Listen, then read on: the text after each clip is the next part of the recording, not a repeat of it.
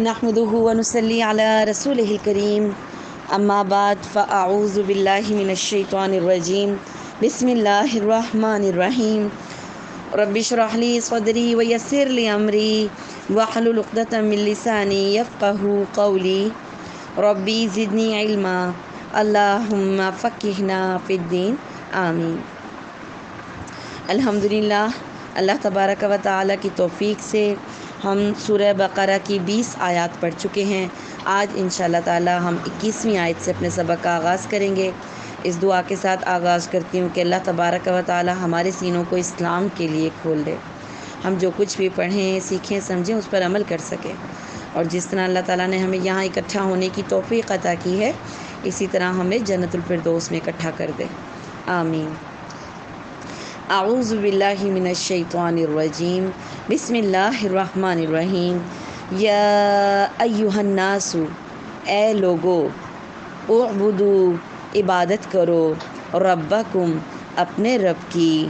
الذی وہ جو یعنی وہ رب جو خلقکم، جس نے تم کو پیدا کیا ہے۔ اللہ تعالیٰ کا ہم پر کتنا بڑا احسان ہے کہ اس نے ہمیں پیدا کیا۔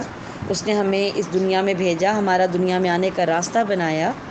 ہمیں سانسیں دیں، ہمیں نعمتیں دیں، ہمیں، ہماری ضرورت کی ہر چیز بغیر مانگے ملی۔ تو اس رب نے جس نے تمہیں پیدا کیا، اس کی عبادت کرو۔ والذینہ اور نہ صرف تمہیں پیدا کیا، بلکہ ان لوگوں کو بھی پیدا کیا۔ من قبلکم جو تم سے پہلے تھے۔ تمہیں بھی پیدا کیا اور تم سے پہلے کے لوگوں کو بھی پیدا کیا۔ لعلکم شاید کہ تم تتقون، تم بچ جاؤ۔ کس سے بچ جاؤ؟ نگیٹیوٹی سے، جہنم سے، آگ سے بچ جاؤ۔ الزی وہ جس نے جعلا بنایا ہے، لکم، تمہارے لیے الاردا اس زمین کو فراشن فرش بنا دیا ہے۔ والسماء، اور آسمان کو بناء چھت بنا دیا۔ وہ انزلہ اور اس نے نازل کیا من السماء، آسمان سے ماء پانی۔ فاخرجا اور پھر اس نے نکالی بھی ہی اس کے ساتھ من الثمرات پھلوں کو نکالا۔ اور وہ پھل کس کے لیے؟ رزق لکم، تمہارے لیے رزق۔ تمہارے لیے، کیونکہ اللہ تعالیٰ نے کائنات کی ہر چیز انسان کے لیے پیدا کی اور انسان سے صرف ایک ڈیمانڈ کی کہ اللہ کی عبادت کریں فلا، پس نہیں، تجعلو، تم نہ بناؤ۔ للہ، اللہ کے ساتھ اندادوں کوئی بھی شریک و ان تم تعلمون اور یہ بات تم جانتے ہو۔ یہ بات تمہیں خود بھی پتہ ہے کہ اللہ کے ساتھ کوئی بھی شریک نہیں ہے۔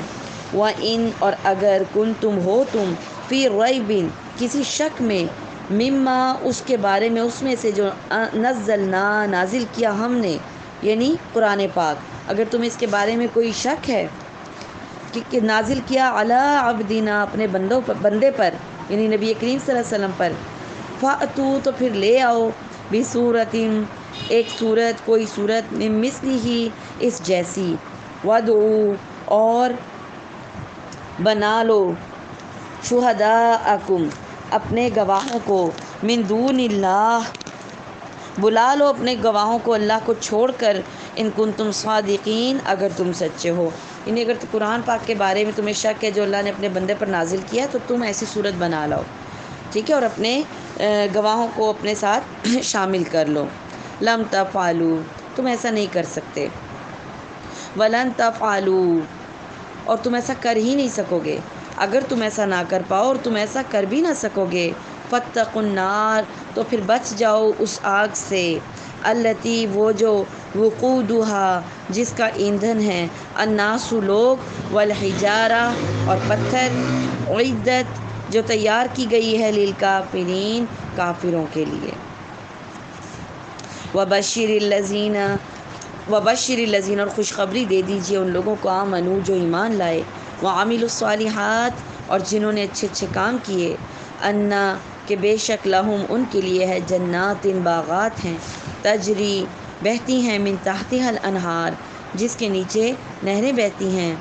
کلما، جب کبھی روزی قو وہ اس میں سے کھائیں گے رزق۔ منہا اس میں سے من ثمرتین، کوئی بھی پھل رزق بطور رزق کھائیں گے۔ قالو تو کہیں گے حاض الذی یہ تو وہی ہے، رزقنا کہ جو دیے گئے بطور رزق من قبل، اس سے پہلے۔ یعنی دنیا میں بھی ہم اس طرح کے پھل کھاتے تھے۔ و اتو اور وہ دیے گئے بھی ہی اس سے متشابہ ملتے جلتے۔ ولاحم اور ان کے لیے فی ہا اس میں ہوں گے ازواج جوڑے متحرتن پاکیزہ جوڑے۔ عورتوں کے لیے بیوی، عورتوں کے لیے شوہر، شوہروں کے لیے بیویاں۔ یعنی اللہ تعالیٰ جنت میں کسی کو اکیلا نہیں چھوڑے گا، سب کی شادیاں ہو جائیں گی۔ تو ان کے لیے وہاں پاکیزہ جوڑے ہوں گے۔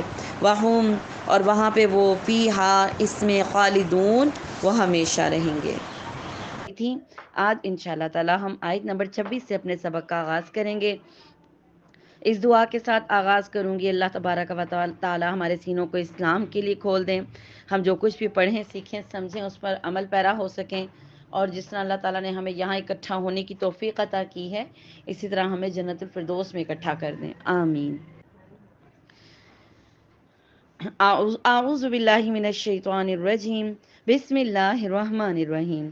ان اللہ بے شک اللہ تعالی، لا نہیں، یستحیی، نہیں شرماتا، ان یضربا، کہ وہ بیان کرے، مثلا کوئی مثال، ما خواہ وہ ہو بعوذتن مچھر کی، مادہ مچھر کی، فما یا جو ہو فوقہا، اس سے بھی اوپر کی یعنی اس سے بھی کم تر فَأَمَّا الَّذِينَ تو رہے وہ لوگ جو آمن ایمان لے آئے ہیں۔ فَيَعْلَمُونَ، تو پس وہ علم رکھتے ہیں۔ انہو کہ بے شک یہ جو بات ہے، الحق، یہ حق ہے، سچ ہے۔ من ربہم ان کے رب کی جانب سے۔ وہ وَأَمَّا الَّذِينَ، اور رہے وہ لوگ جو کفرو جنہوں نے کفر کا راستہ اختیار کیا۔ فَيَقُولُونَ، تو وہ یہ کہتے ہیں، ماذا کیا اراد اللہ، ارادہ کیا اللہ نے بحاظہ مسئلہ اس مثال کے ساتھ۔ یو دلو وہ گمراہ کر دیتا ہے بھی اس کے ساتھ کثیرن، کثیر تعداد کو۔ وہ یاہدی اور وہ ہدایت بھی دیتا ہے بھی اسی قرآن کے ساتھ یا انہی امثال کے ساتھ، مثالوں کے ساتھ کثیرہ بہت سوں کو۔ وما، اور نہیں یو دلو وہ گمراہ کرتا بھی ہی ساتھ اس کے الفاسقین سوائے فاسقوں کے۔ قرآن پاک میں بہت سی جگہوں پہ اللہ تعالیٰ نے جانوروں کی مثالیں دیں، چونٹی کی مثال دی، مچھر کی مثال دی، اور مشرقین جو تھے، وہ اس بات پر اعتراض کیا کرتے تھے۔ کہ یہ کیا بات ہوئی کہ اللہ تعالیٰ جو ہیں وہ اتنی اتنے بڑے تم کہتے ہو کہ اللہ کی ذات ہے، اس نے زمین آسمانوں کو بنایا اور چھوٹی چھوٹی چیزوں کی مثالیں دے رہا ہے اللہ تعالیٰ۔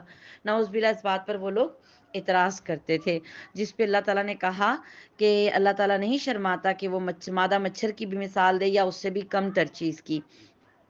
حقیقت کیا ہے کہ اس طرح کے اعتراضات اٹھانے والے اس قرآن کے ذریعے گمراہ ہو جاتے ہیں۔ اور جو ایمان والے ہوتے ہیں، ان کو پتہ ہوتا ہے کہ یہ اللہ کی جانب سے حق ہے۔ ظاہر اللہ خالی کے مچھر کو بھی اللہ نے پیدا کیا اور خالی کے وہ اپنی مخلوق کا ذکر کر سکتا ہے۔ اور اسی طرح اس سے گمراہ نہیں ہوتے، بہت سے لوگ اس سے گمراہ ہو جاتے ہیں، بہت سے لوگ ہدایت بھی پاتے ہیں، لیکن گمراہ سوائے فاسقوں کے اور کوئی نہیں ہوتا۔ فاسق کا عربی میں فاسق وہ نافرمان لوگ جو اللہ کی حدوں کو توڑ دیتے ہیں، ان کو کہتے ہیں۔ ٹھیک ہے؟ اللہ زینہ فاسق وہ لوگ، اب ان کے اللہ تعالیٰ بتا رہے ہیں، مثال بتا رہے ہیں کہ فاسق کون ہوتا ہے۔ اللہ زینہ وہ لوگ جو ین جو توڑ دیتے ہیں آحد اللہ اللہ کے وعدوں کو مم بعدی، اس کے بعد کے میسا کی ہی اس کو پکا کرنے کے بعد، مضبوط کر لینے کے بعد بھی پھر کیا کرتے ہیں؟ وہ اللہ کے ساتھ کیے ہوئے وعدوں کو توڑ دیتے ہیں۔ وہ یکتعون اور وہ توڑ ڈالتے ہیں۔ ما امر اللہ جس کے بارے میں اللہ نے حکم دیا ہے اس کو بھی اس کو کہ کہ اس کو جوڑ دیجیے۔ ٹھیک ہے؟ وَيُفْسِدُونَ، اور وہ فساد مچاتے ہیں فی الارضی زمین میں۔ اولئیکا یہی تو وہ لوگ ہیں ہم الخاسرون، جو خسارہ پانے والے ہیں۔ اب یہاں پہ فاسقین کی کچھ خاص صفات بیان کی جا رہی ہیں کہ ایک فاسق یہ ہوتا ہے کہ جو اللہ سے کیے ہوئے وعدوں کو توڑ دیتا ہے۔ یعنی انسانوں سے وعدہ کیا جو توڑنا ہے وہ کتنی بد اخلاقی کی بات ہے، کہاں اللہ سے کیا ہوا وعدہ ہم توڑ دیں۔ اور دوسری چیز یہ ہے کہ اللہ تعالیٰ نے جن رشتوں کو، رشتہ داریوں کو جوڑنے کا حکم دیا ہے، وہ ان سے رشتہ داریاں توڑ دیتے ہیں۔ ٹھیک ہے؟ ہمیں جو اللہ تعالیٰ نے جس ماحول میں، جس خاندان میں، جس کاسٹ میں پیدا کیا، ہمارے جو رشتے ہیں، ماموں، چچا، تایا، پھپھو، خالہ، یا جو بھی رشتے ہیں جو اللہ تعالیٰ نے بنائے ہیں، حقیقت میں یہ چار طرح کے رشتے ہیں۔ سسرالی، ننیالی، ددیالی اور رضائی۔ یعنی کہ جو دودھ پلانے کی وجہ سے رشتے قائم ہو جاتے ہیں وہ، اور اس کے علاوہ ننیال کے رشتے جو ماں کی طرف سے ہوتے ہیں، ددیال کی طرف سے جو ہوتے ہیں، وہ باپ کی طرف سے وہ رشتے، اور سسرال جو ہمارا اپنا سسرال ہوتا ہے وہ والے رشتے۔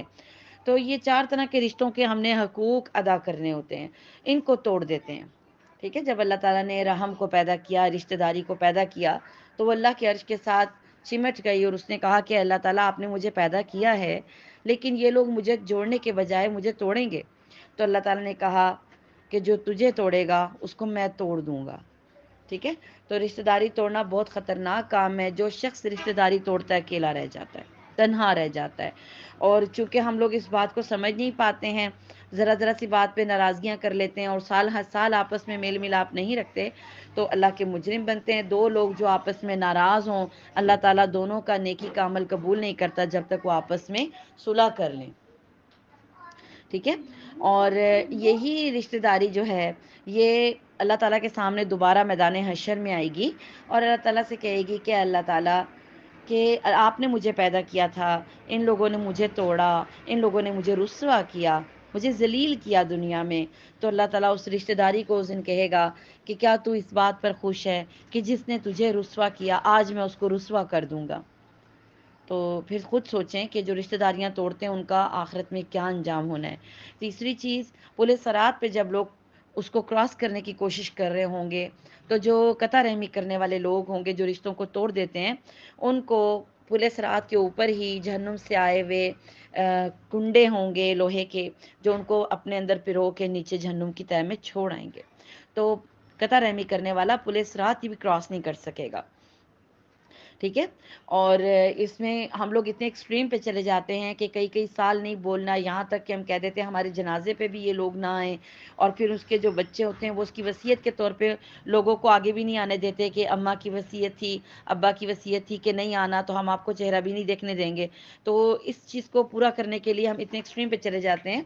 تو رشتہ داری توڑنا بہرحال بہت بڑا گناہ ہے۔ اور اسی کا قرآن میں اللہ نے ذکر کیا ہے کہ جن چیزوں کو جوڑنے کا حکم ہے، اس کو یہ لوگ توڑ دیتے ہیں۔ اور اس کے نتیجے میں کیا ہوتا ہے؟ زمین میں فساد مچتا ہے۔ ٹھیک ہے؟ وہ یوف سی دونا پل ارد اس اس کے ذریعے وہ کیا کرتے ہیں؟ فساد مچا دیتے ہیں زمین پہ۔ کیوں؟